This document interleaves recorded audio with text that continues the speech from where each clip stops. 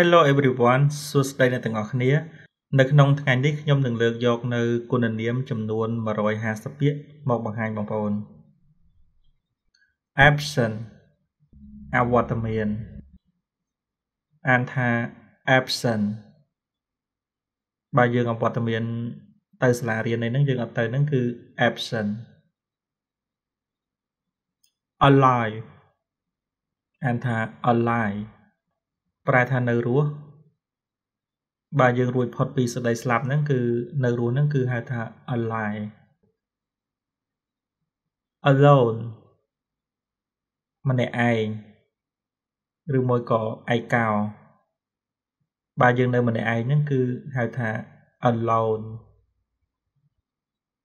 amazing អស្ចារ្យបើអានថា amazing បាទដូចជាកីឡាករដែលអស្ចារ្យអីគឺ an amazing player បាទកីឡាករដែលអស្ចារ្យ angry ប្រែថាខឹងអានថា angry annoyed រំខាន បាទអានថា annoyed noisy អ៊ូអ អានថា noisy បាទក្មេងៗដែលអ៊ូអអហ្នឹងគឺ noisy asleep ដេកលក់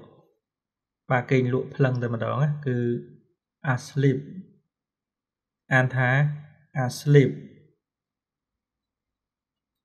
attractive គួរឲ្យតាក់ទាញអានថា attractive បាទឧទាហរណ៍ដូចជាជនបទដែលគួរឲ្យតាក់ទាញគឺ attractive countryside បាទ countryside ហ្នឹងគឺប្រែទៅជនបទណា available ដែលអាចប្រើបាន ដែលមានប្រយោជន៍បាទបើនិយាយពីបន្ទប់វិញគឺបន្ទប់ហ្នឹងអាចប្រើប្រាស់បានបាទ available room បាទ room ហ្នឹងគឺបន្ទប់ណា awful បាទគួរឲ្យខ្លាចឬមួយក៏អាក្រក់បាទបើនិយាយពីអាកាសធាតុវិញគឺអាកាសធាតុដែលវាអាក្រក់តែម្ដងបាទ awful weather បាទអាកាសធាតុដែលគួរឲ្យខ្លាចបាទបាទប្រែថាអាក្រក់បាទអានថាបាទឧទាហរណ៍ bad news បាទព័ត៌មានអាក្រក់បាទ news គឺប្រែថាព័ត៌មានណា adventurous បាទអានថា adventurous ដែលផ្សងព្រេងបាទអ្នកដែលចូលចិត្តឡើងភ្នំឡើងអីហ្នឹងគឺ adventurous person បាទមនុស្សដែលចូលចិត្តផ្សងព្រេងបាទ person ហ្នឹងគឺប្រែថាមនុស្ស base បាទប្រែថាល្អបំផុតហើយ base ឧទាហរណ៍ the best thing បាទរឿងដែលល្អបំផុត បាទអញ្ចឹងយើងប្រើជាមួយនឹងពាក្យ the ទៀតណា the best thing better កាន់តែប្រសើរបាទអានថា better ឧទាហរណ៍ I'm feeling better បាទខ្ញុំមានអារម្មណ៍កាន់តែប្រសើរមានអារម្មណ៍កាន់តែល្អបាទ feeling ហ្នឹងគឺអារម្មណ៍ណា afraid of បាទខ្លាចពីអ្វីមួយបាទ afraid of បាទអញ្ចឹងបើសិនជាខ្លាចឆ្កែអញ្ចឹងគឺ afraid of dogs បាទខ្លាចឆ្កែ big បាទ big ហ្នឹងគឺប្រែថាធំបាទអានថា big បាទឧទាហរណ៍ដូចជាផ្ទះធំ បាទផ្ទះធំគឺ a big house បាទផ្ទះធំបាទ house ហ្នឹងគឺផ្ទះ born បាទប្រែថាកើត បាទយើងកើតហ្នឹងគឺ born បាទអានថា born ឧទាហរណ៍ she was born in 1999បាទនាងកើតនៅក្នុងឆ្នាំ1999 both ទាំងពីរអានថា both បើឧទាហរណ៍ដៃទាំងពីរអញ្ចឹងគឺ both hands បាទដៃទាំងពីរបាទ hand ហ្នឹងគឺប្រែថាដៃ brave ក្លាហានអានថា brave ឧទាហរណ៍ទាហានក្លាហាន បាទទាហានគឺ soldier បាទអញ្ចឹង brave soldiers បាទទាហានក្លាហាន បាទ soldier ហ្នឹងគឺទាហានណា bright បាទប្រែថាភ្លឺឬមួយក៏ដែលមានពន្លឺបាទទីហោថា bright sunshine ពន្លឺព្រះអាទិត្យដែលភ្លឺបាទ sunshine ហ្នឹងគឺប្រែថាពន្លឺព្រះអាទិត្យណា bright ហ្នឹងគឺប្រែថាភ្លឺបាទអញ្ចឹង bright sunshine ពន្លឺព្រះអាទិត្យដែលភ្លឺ brilliant អស្ចារ្យអានថា brilliant brilliant បាទទីហោ a brilliant idea បាទកំណត់ដែលអស្ចារ្យ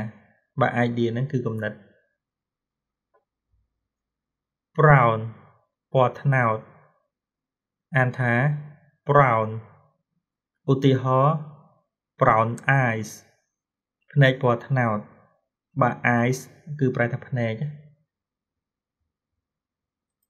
BC រវល់អានថា BC ឧទាហរណ៍ BC time បាទពេលដែលរវល់ calm បាទប្រែថាស្កប់ស្ងាត់ calm ឧទាហរណ៍ stay calm បាទស្នាក់នៅដោយស្ងប់ស្ងាត់ careful ប្រុងប្រយ័ត្នអានថា careful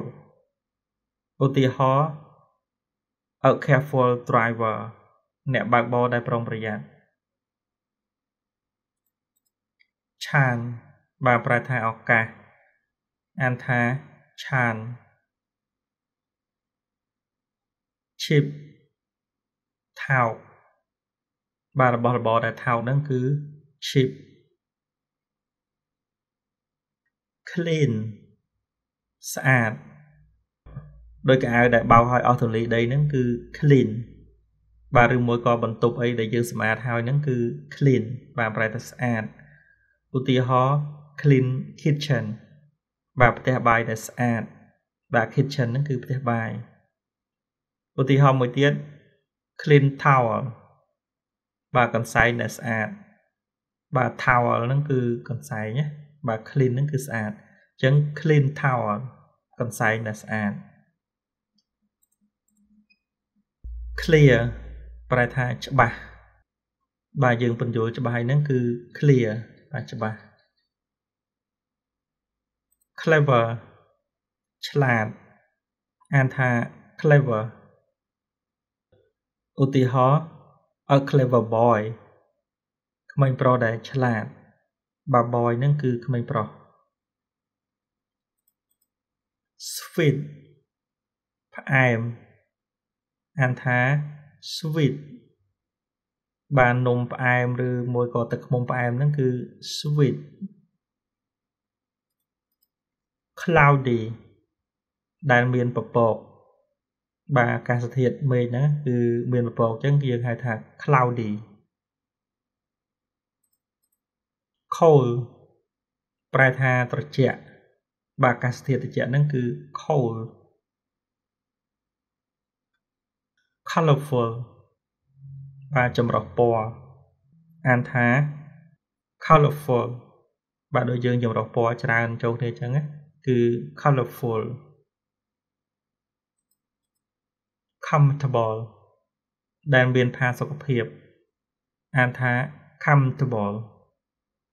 បាទដូចជារបស់ដែលប្រើប្រាស់មានផាសុកភាពដូចជាម៉ាស៊ីនត្រជាក់ឬមួយក៏បរិស្ថានល្អអញ្ចឹងគឺ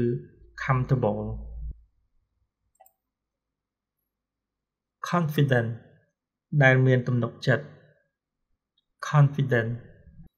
បើយើងមានទំនុកចិត្តទៅលើអ្វីមួយហ្នឹងគឺ confident confuse ច្រឡំអានថា confuse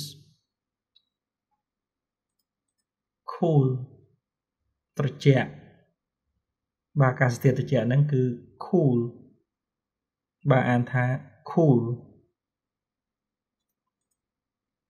crazy ឆ្កួត បើអានថា crazy creative បាទប្រែថាច្នៃប្រឌិតអានថា creative បើយកយើងច្នៃជាសិល្បៈអីមួយឲ្យចេញមកអញ្ចឹងជារូបចម្លាក់យុគរូបអីអញ្ចឹងមានកំណត់ច្នៃប្រឌិតអញ្ចឹងគឺ creative cruel បាទប្រែថាខូខើបាទអានថា cruel cultural នៃវប្បធម៌អានថា cultural cute បាទប្រែថាគួរឲ្យស្រឡាញ់បាទ cute ហ្នឹងគឺមើលទៅស្អាតតូចច្រឡឹងគួរឲ្យស្រឡាញ់អញ្ចឹងគឺ cute បាទបើសិនជាមនុស្សវិញគឺ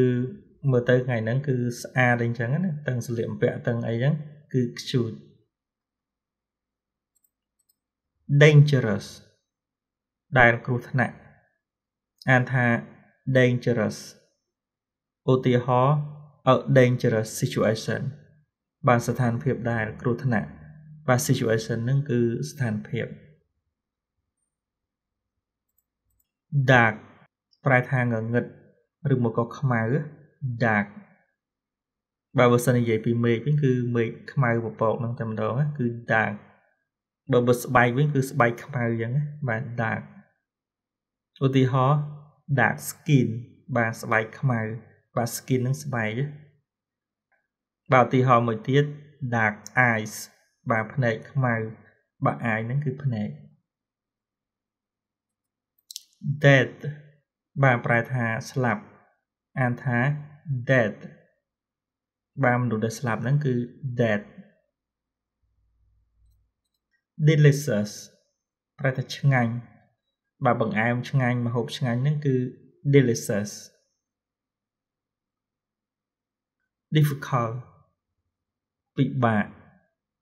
អានថា difficult ឧទាហរណ៍ a difficult situation ស្ថានភាពដែលពិបាក situation ហ្នឹងគឺប្រែថាស្ថានភាព dirty បានប្រែថាកខ្វក់ បើកក្រិចហ្មងដូចកៅអៅវិញប្រឡាក់ឬមកក៏ចានប្រឡាក់កក្រិចចឹងគឺ dirty disappointed ខកចិត្តអានថា disappointed discourage បាក់ទឹកចិត្តអានថា discourage early ពីព្រលឹម early បើយើងក្រោកពីព្រលឹមនេះគឺ early easy ងាយស្រួលបាទអ្វីមួយដែលវាស្រួលហ្នឹងគឺ easy បាទដូចយើងធ្វើលំហាត់ធ្វើអីវាស្រួលអញ្ចឹងណា easy easy going បាទប្រែថាសម្រាប់អានថា easy going បាទយើងទៅសម្រាប់លំហែកាយហ្នឹងគឺ easy going empty ទទេ empty បាទដូចជាប្រអប់អីទទេអញ្ចឹងគឺ empty បាទឧទាហរណ៍ an empty box បាទប្រអប់ទទេបាទ box ហ្នឹងគឺបែរទៅប្រអប់ណាឧទាហរណ៍មួយទៀត an empty bottle បាទដបទទេ បាទ bottle ហ្នឹងដប enough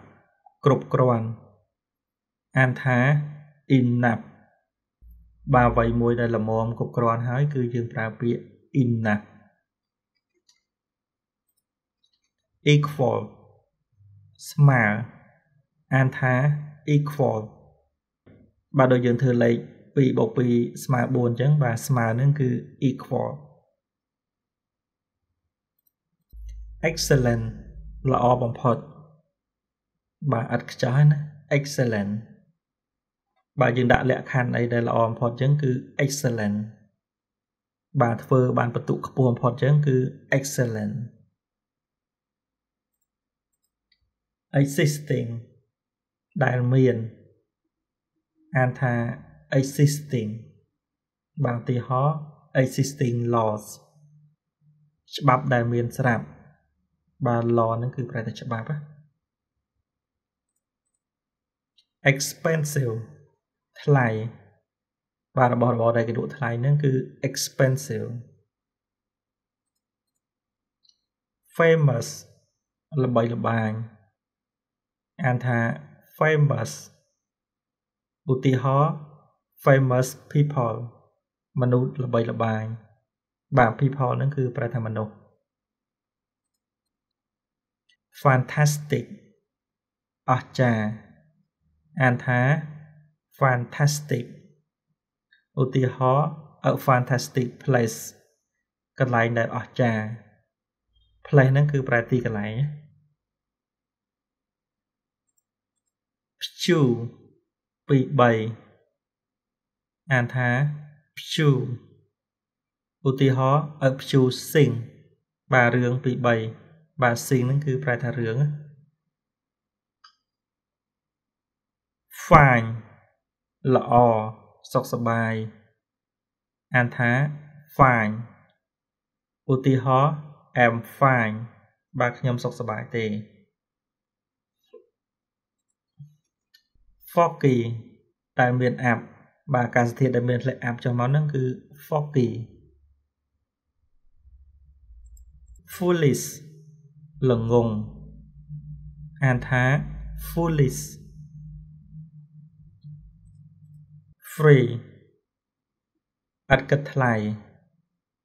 បាទយើងតែងតែចំណាំគេនិយាយថា free បាទញ៉ាំរបស់ free ហ្នឹងមានន័យថាអត់គិតថ្លៃបាទអានថា free fresh ស្រស់អានថា fresh ឧទាហរណ៍ fresh coffee បាទកាហ្វេដែលស្រស់ស្រស់បាទ coffee ហ្នឹងគឺកាហ្វេ friendly រាក់ទាក់អានថា friendly បាទយើងរស់រាយរាក់ទាក់ហ្នឹងគឺ friendly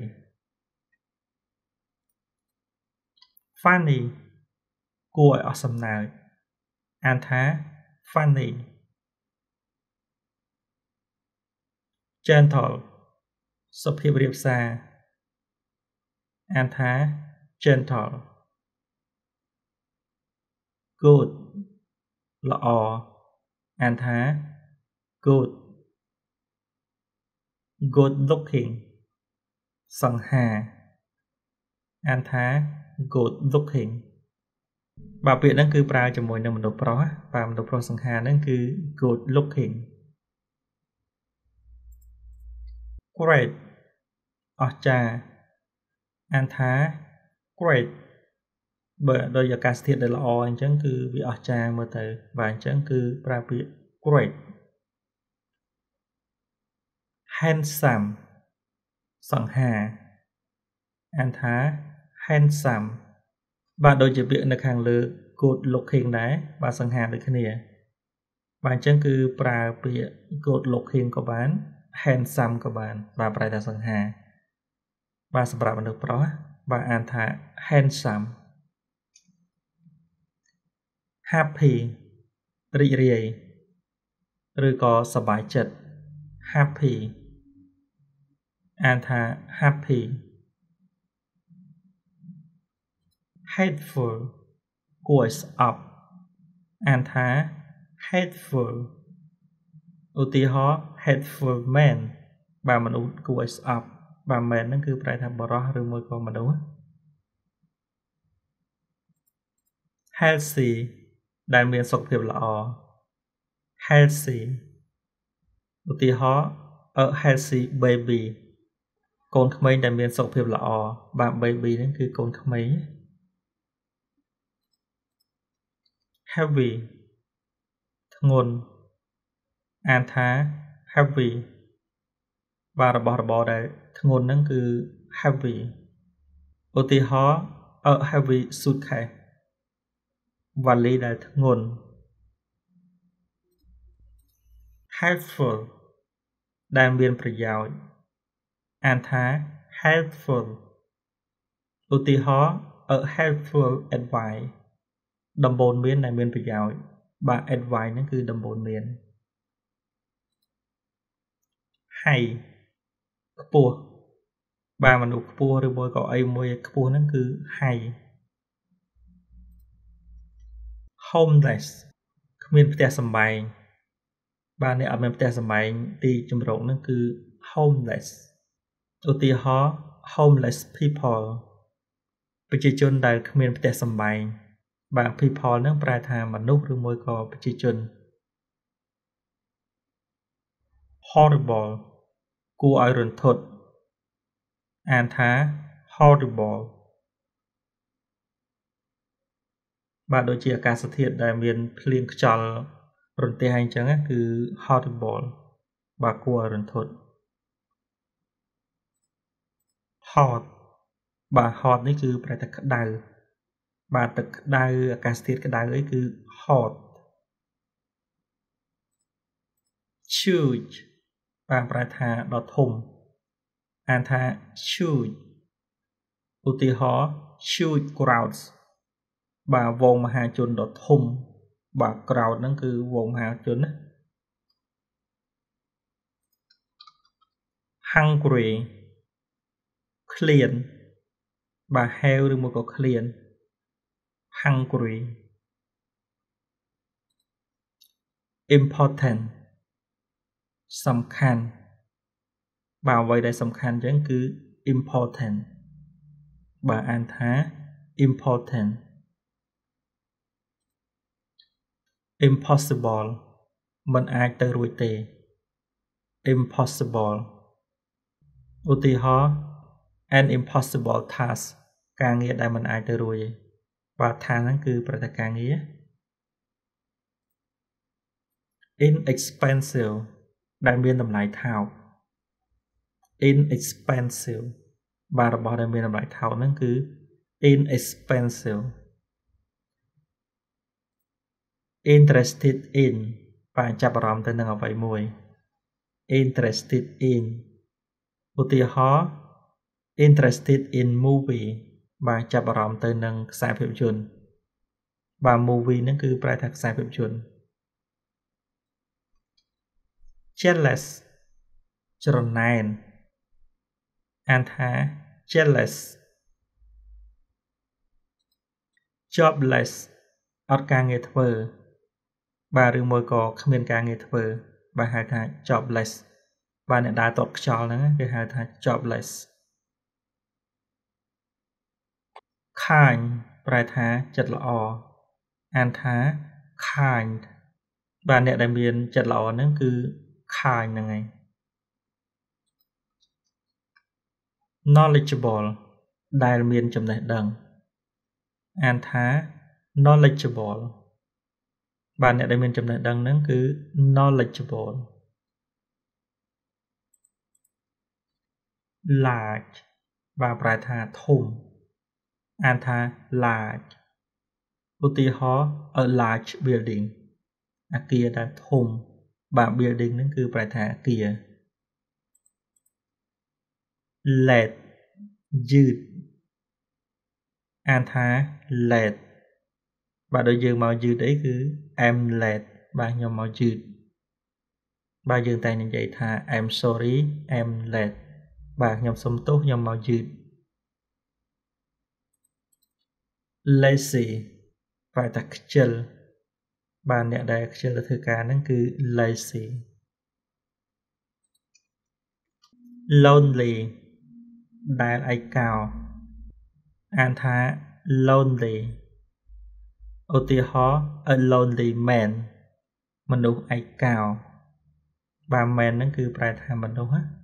ឬមួយក៏បុរសបាទអញ្ចឹង a lonely man បាទមនុស្សដែលឯកោ long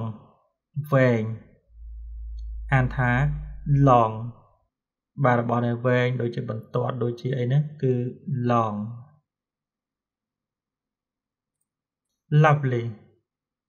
ដែលគួរឲ្យស្រឡាញ់អានថា lovely lucky សំណាង បាទដែលមានសំណាងអានថា lucky modern ទំនើប បាទអានថា modern បាទរបស់អីដែលទំនើបហ្នឹងគឺ modern narrow តូចចង្អៀតអានថា narrow បើឧទាហរណ៍ a narrow road បាទផ្លូវដែលចង្អៀតបាទ road ហ្នឹងគឺផ្លូវ nervous ភ័យអានថា nervous បើយើងភ័យបារម្ភពីការប្រឡងពីអីហ្នឹងគឺ nervous new ថ្មីអានថា new បាទរបស់ដែលថ្មីហ្នឹងគឺ new ណៃល្អអានថាណៃបាទដូចជាពេលវេលាដែលល្អអញ្ចឹងគឺ a night time បាទពេលវេលាដែលល្អ បាទ time ហ្នឹងគឺពេលវេលាអូខេយល់ព្រមបាទអានថាអូខេអូលចាស់អានថាអូលបាទរបស់ដែលចាស់ឬមួយក៏មនុស្សចាស់ហ្នឹងប្រើបានដូចគ្នា old perfect បាទល្អឥតខ្ចោះអានថា perfect បើយើងធ្វើអីល្អឥតខ្ចោះតែម្ដងគឺ perfect pleasant រីករាយបើអានថា pleasant political នយោបាយបាទឬមួយក៏នៃនយោបាយឧទាហរណ៍ political issue បញ្ហានយោបាយ បាទ issue ហ្នឹងគឺបញ្ហា poor ក្រីក្រអានថា poor បាទអ្នកក្រីក្រហ្នឹងគឺ poor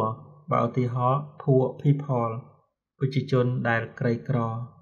បាទ people ហ្នឹងគឺប្រជាជន pretty ស្អាតអានថា pretty បាទដូចជាក្មេងស្រីស្អាតអញ្ចឹងគឺ a pretty girl ក្មេងស្រីដែលស្អាត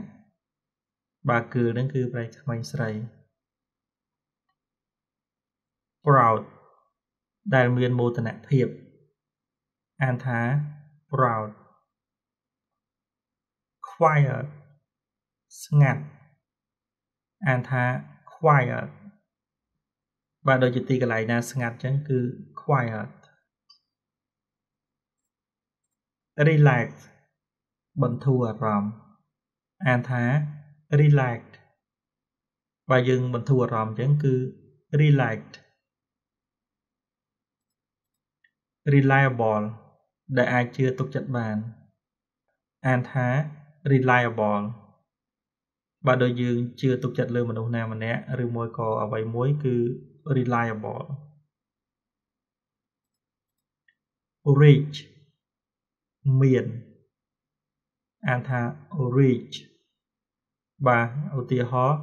a rich person បាទមនុស្សអ្នកមាន right ត្រឹមត្រូវអានថា right ឧទាហរណ៍ right answer បាទចម្លើយដែលត្រឹមត្រូវបាទ answer ហ្នឹងគឺចម្លើយ satisfy ពេញចិត្តបាទអានថា satisfy បាទយើងធ្វើអីដោយពេញចិត្តចឹងគឺ satisfied scary ដែលគួរឲ្យខ្លាច scary អានថា scary ឧទាហរណ៍ a scary movie ខ្សែភាពយន្តដែលគួរឲ្យខ្លាចបាទ movie ហ្នឹងគឺខ្សែភាពយន្ត selfish អាត្មានិយមអានថា selfish សាយអៀនខ្មាស់បាទអានថាសាយបាទដូចយើងអៀនខ្មាស់មួយអញ្ចឹងគឺសាយ silly ឈួតឈួតអានថា silly small តូចអានថា small បាទរបស់ដែលតូចតូចហ្នឹងគឺ small stupid បាទប្រែថាឆ្កួតឬមួយក៏ឆោតល្ងងបាទ stupid successful ទទួលបានជោគជ័យអានថា successful បើយើងធ្វើអីមួយទទួលបានជោគជ័យហ្នឹងគឺ successful sunny ដែលមានពន្លឺអានថា sunny ឧទាហរណ៍ a sunny morning ព្រឹកដែលមានពន្លឺ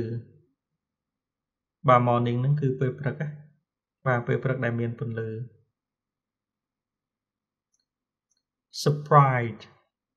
ភ្ញាក់ផ្អើល អានថា surprise បើយើងភ្ញាក់ផ្អើលនឹងអ្វីមួយហ្នឹងគឺ surprise tall ខ្ពស់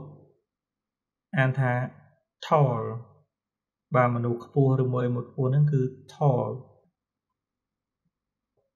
terrible ដែលគួរឲ្យខ្លាចអានថា terrible បាទដូចជាអាកាសធាតុដែលវាអាក្រក់អញ្ចឹងគឺ terrible thankful អរគុណអានថា thankful thirsty ស្រេកទឹកអានថា thirsty បើយើងស្រេកទឹកគឺយើងប្រើពាក្យហ្នឹងហើយឧទាហរណ៍ I am thirsty ខ្ញុំស្រេកទឹក tiny ប្រែថាតូចអានថា tiny បាទរបស់ដែលតូចតូចហ្នឹងគឺ tiny tired នឿយហត់អានថា tired ឧទាហរណ៍ am tired ខ្ញុំនឿយហត់ freaky ប្រែថាល្បិចអានថា freaky ឧទាហរណ៍ a tricky person មនុស្សដែលមានល្បិច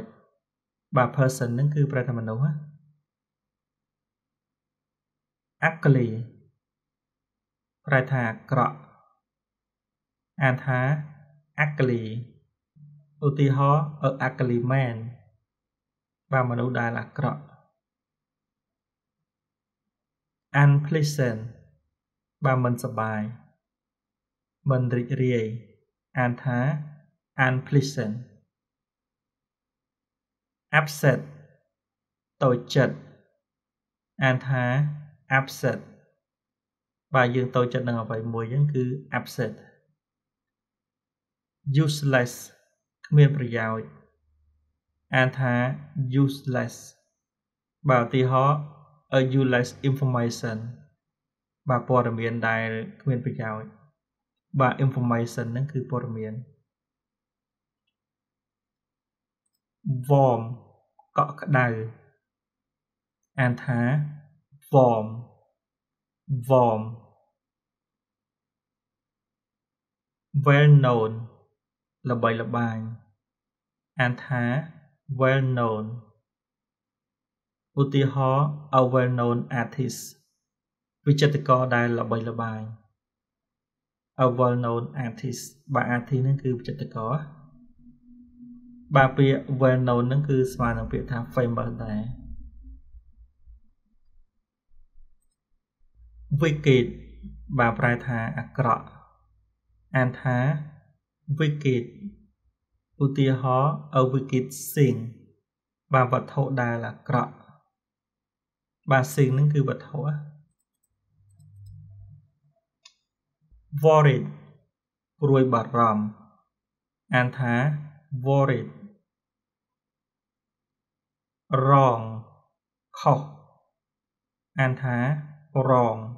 បើយើងធ្វើលំហាត់អីខុសចឹងគឺ wrong yummy ឆ្ងាញ់អានថា yummy បាទដូចជាម្ហូបអាហារអីឆ្ងាញ់ចឹងគេហៅថា yummy short ប្រែថាខ្លីបាទអានថា short បាទរបស់ណាដែលខ្លីៗហ្នឹងគឺ short បើឧទាហរណ៍ a short time ពេលវេលាដែលខ្លីបាទ time ហ្នឹងគឺពេលវេលា messy បាទប្រែថារាយប៉ាយឬមួយក៏អរររាយបាទរបស់របរត្រាំងត្រែពេញបន្ទប់ហ្នឹងគឺហៅថា messy បាទ ឧទាហរណ៍ a messy room បាទបន្ទប់ដែលរាយប៉ាយបាទអញ្ចឹង room ហ្នឹងគឺបន្ទប់ sleepy ដែលគេងលក់អានថា sleepy បាទអ្នកណាដែលគេងលក់អញ្ចឹងគឺ sleepy បាទអញ្ចឹងនៅក្នុងថ្ងៃនេះគឺបងប្អូនបានរៀនពាក្យគុណនាមចំនួន150ពាក្យ បាទអញ្ចឹងអរគុណបងប្អូនដែលបានតាមដាននៅការបង្រៀនភាសាអង់គ្លេសនៅលើ Channel SCH Beginner បើសិនជាបងប្អូនចង់តាមដាននៅវីដេអូដែលអាប់ដេតថ្មីៗសូមចុចលើប៊ូតុង Subscribe ហើយនិងសញ្ញាកណ្ដឹងសូមជម្រាបលាសូមអរគុណ